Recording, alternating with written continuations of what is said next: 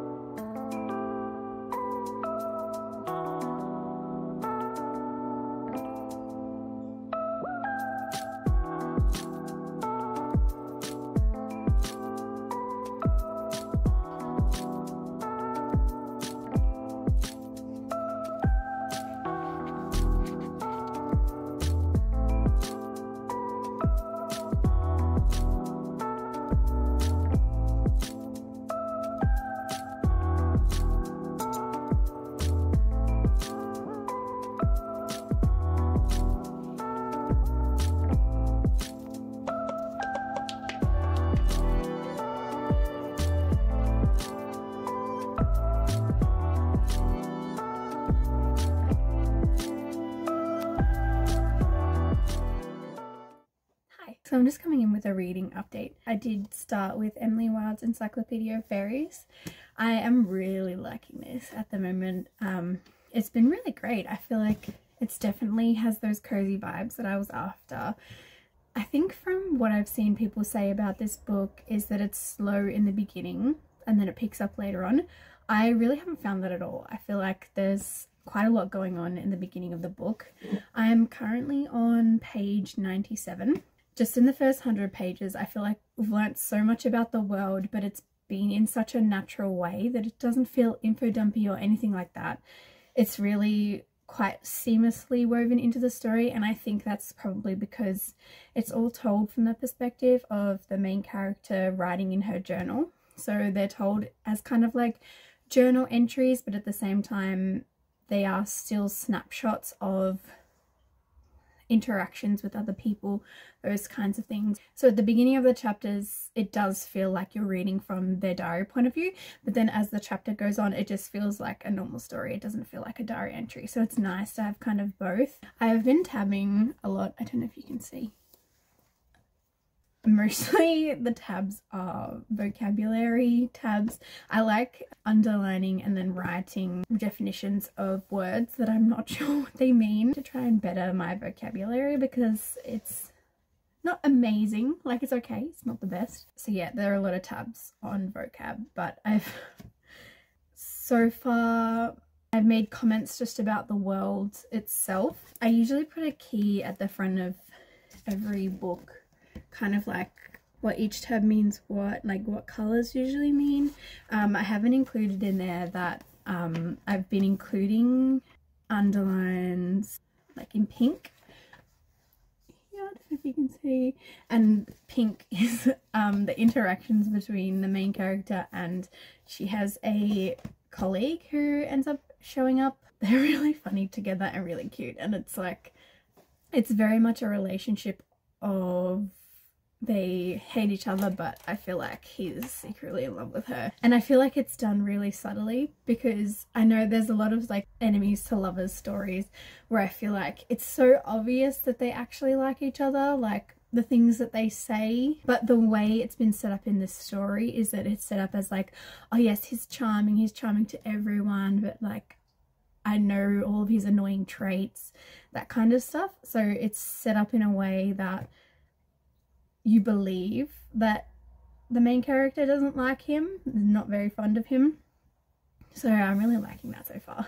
The world in general is really cool. There's a lot of information about the world itself and there's also moments where they kind of just explain a little bit about what they're talking about sometimes. I'll show you kind of like I think how Babel is set out. I haven't read Babel yet but um, from what I've seen um, it does have like definitions at the bottom. And it's kind of the same here where there's like there'll be a star somewhere on the page and then down, down the bottom there'll be an explanation. And it's generally about how what they say kind of relates to in the context of the world to do with fairies. So yeah i'm really enjoying it. I'm interested to see if people say it doesn't pick up until halfway like what actually goes on.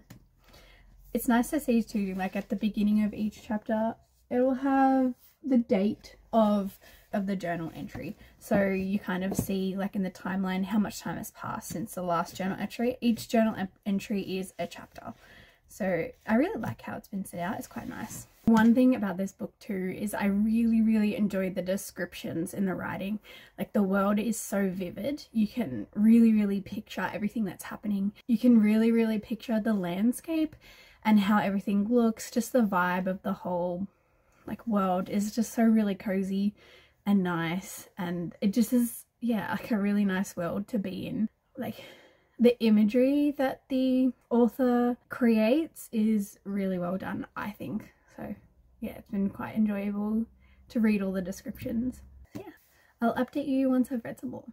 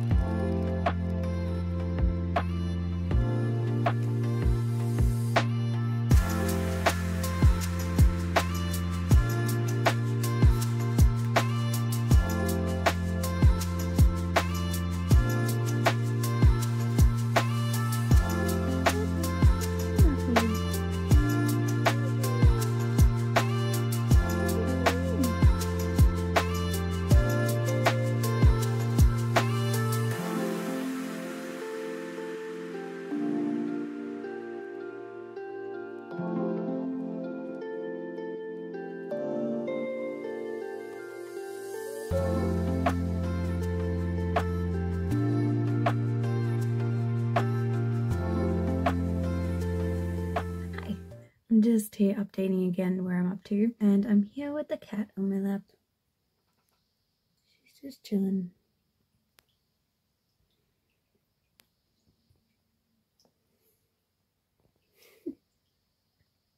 just getting comfy.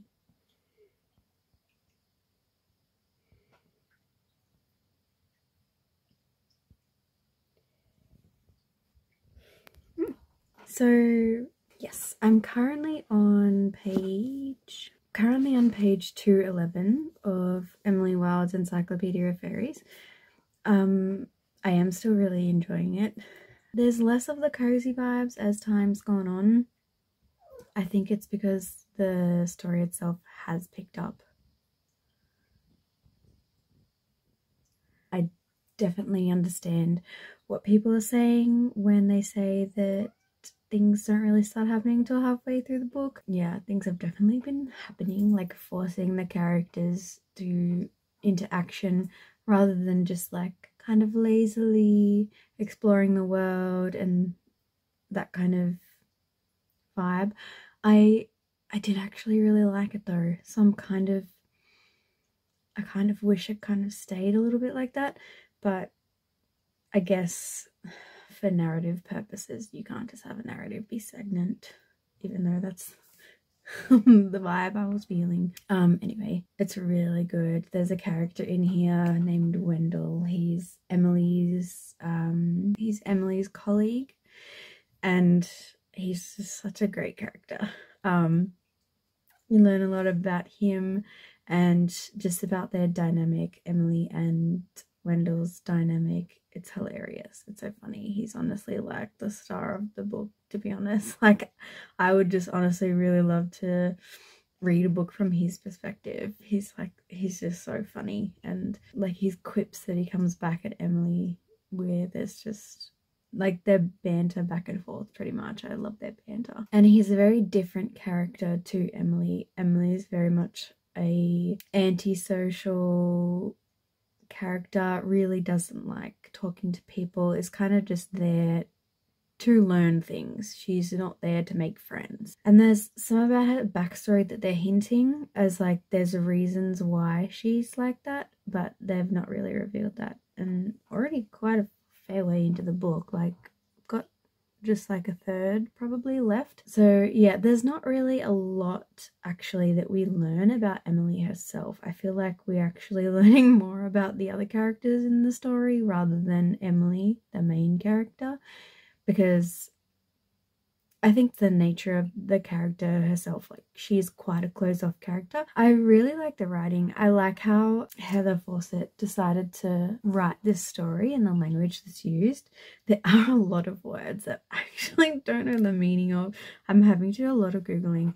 Um, I'm really interested to see where this story is going because they kind of have like a general narrative you know, like you think, okay, they'll do this, they'll do this, and then they'll get these are the wants that they've been wanting throughout the whole book and then they'll get that and then that's the book. But i feel like there's something else that should happen so i'm hoping that it does. I don't know i feel like there's a hidden i feel like there's something else that's going to happen in this book that we haven't like started that climax yet of the novel so there's no ending in sight. Like we don't know I, at this point, don't know how it's going to end. So I think that's good as well. That keeps me reading. It keeps me um, engaged in the story because I want to know what happens. Even though the main character herself really is not a social person, she still is beginning to engage more with the people within the community and we're just learning more about them in general and their dynamics the introduction, like as Wendell came in later in the story, he kind of acts as like the so the social lubricant for Emily and for the townspeople to be more integrated into their small town rather than being on the outskirts. So I like seeing all the I do like the characters or the town characters. I think it actually would there's just so much to learn about this world. Like I think it would be so interesting to learn even more about just the townspeople. It just feels like this book is scratching the surface of the possibilities for this world that it's created. Um, just with like the depth of all the like fairy lore and the basically just purely the information about fairies and then the town itself, how the fairies interact with the town itself. And there's a long history of that.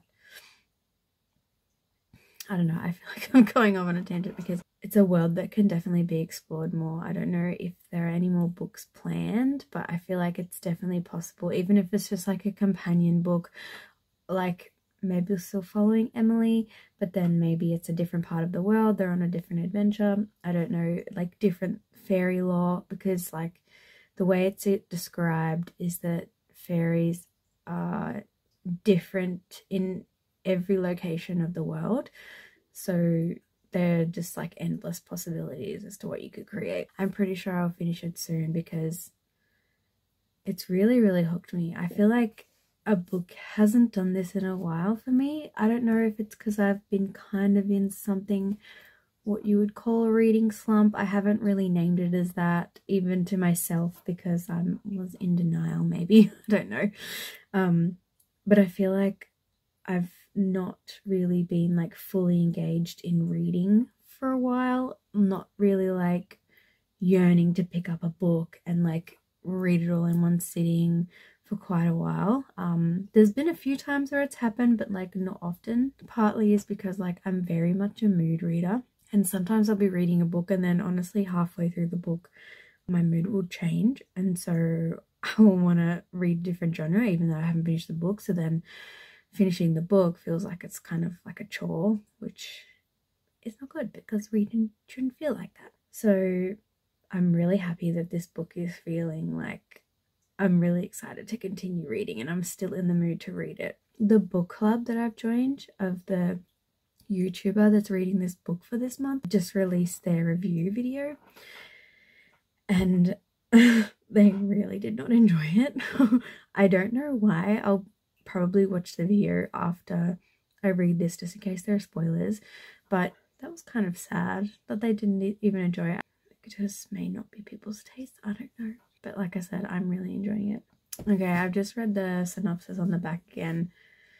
And I think maybe I know where this is going towards the end. I, yeah, I'm, I have a lot of high hopes for the end of this book because I feel like so far it's been really great but for me like the defining factor of a book is always how it ends and then like the feeling you have when it ends like sometimes you read a book and you just feel like it's underwhelming not what you expect. You felt like they could have done a better job at wrapping it up and it can really influence the overall view of the book you have. So i hope it's good. I'll update you once i've read a little bit more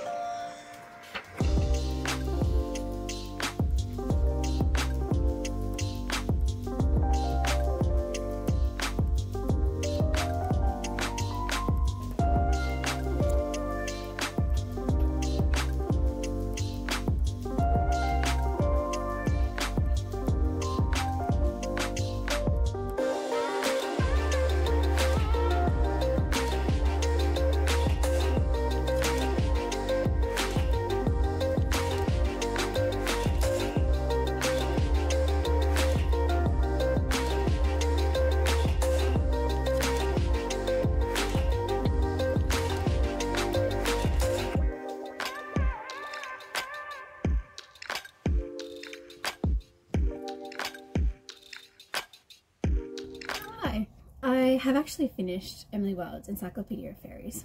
I think it's a really pretty book and it's sad because it had a really disappointing ending.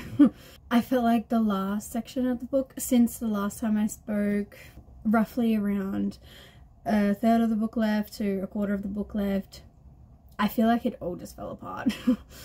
the, like, obviously, like I said, up until then, I loved the world, loved the world building. The characters were being developed quite slowly, and which I really enjoyed. It was really nice, and I think it was matched the personalities of the characters, like especially the main character Emily, where she's quite a closed off person.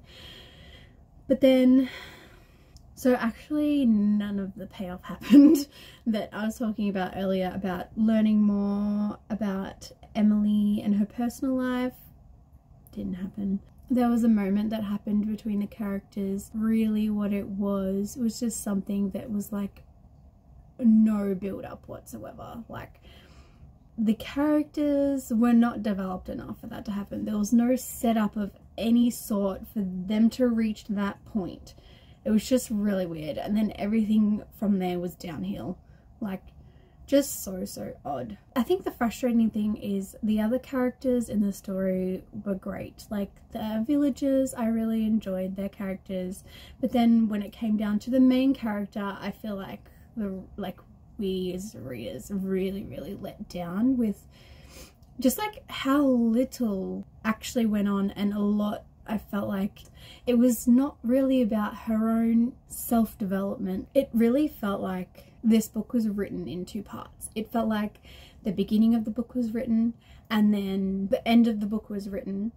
So the author wanted them to match up somehow and it kind of just seems like they were like okay how can we make these two connect to make them a full story and then whatever else happened in between there was like really rushed and it didn't do any of the story justice whatsoever it made everything that came after that seem like something I didn't honestly really even care about also the tone of the last section of the book I felt like kind of felt quite juvenile. The first start of the book felt a bit more adult, but then the last section of the book really felt like middle of the range YA, as in like 15 year olds, like was written about 15 year olds. I think in the end, it actually made Emily seem like quite an unlikable character, which like is not what you want for the main character of the story. At the end, it actually says that Emily Wilde will continue in book two if there's the chance to learn more about the fairies and in other parts of the world, like just learning about the world itself. I think I would really, really love to watch.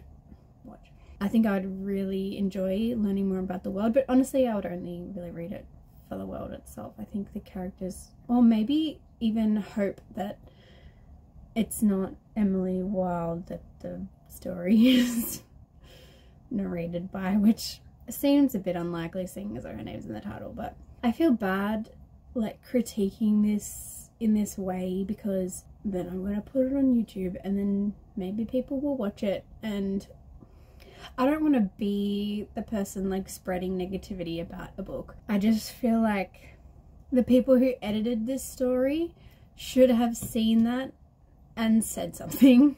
like the writing was so condensed. Like earlier on in the story, it's so stretched out and there's like pages of her wandering the woods and stuff like that.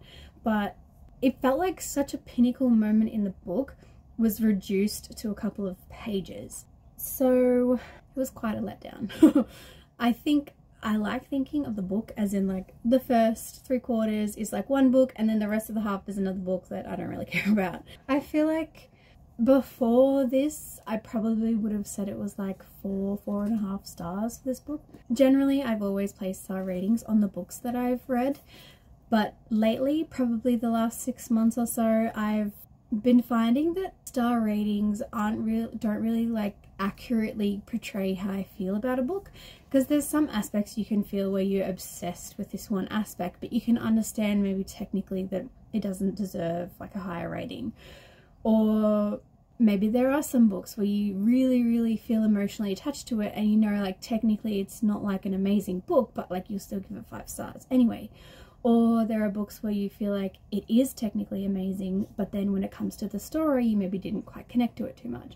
And i feel like for me it's hard to decide sometimes it changes depending on the book, like what I want to rate it. Like sometimes if they are written amazingly and I just didn't really fully connect to it, I don't feel like it's necessarily fair for me to rate it low, even though like I personally didn't connect to it. Initially, I probably would have rated this book maybe like four and a half stars, which is like quite good rating.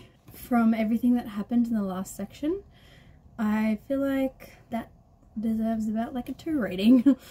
so I don't know what I want my final rating to be, just that I think like overall the ending really really didn't hit the mark. In my opinion, from someone who is studying editing and story structure and narrative, I feel like didn't hit like the climax as well as it should have had because the setup was a bit underdeveloped. I wish this was like a draft. If it was a draft, it would have so, so much potential. And all I would ask was to just fix that section. I would honestly say just make it longer. Like, make that section be extended a little bit more to match the pace of the rest of the novel. And, like, focus more on the character development rather than just, like, trying to follow the story and hit the plot points but yeah, this is what we have. Thank you so much if you stuck around for this long because it was quite a long one. Um, but it was really fun to film. I feel like filming these keeps me accountable to actually read the book. I feel like I probably would have stretched this one out for quite a while to read because I think like the time it takes to read a book and sometimes dissuade me from actually reading a book, which is really weird. So thank you so much for watching. Um, you can check out my Instagram below if you want to check out my Bookstagram account or chat or anything like that. I would love to hear about literally anything about books to be honest. Um, please let me do know in the comments if you've read this book Emily Wilde's Encyclopaedia of Faeries. And if you've read it, like, did you feel the same about the ending? Subscribe if you would like to. Um, I will be definitely posting more videos, book related, anything book related. I'm really enjoying this. It's quite fun. Again, thank you so much. Bye.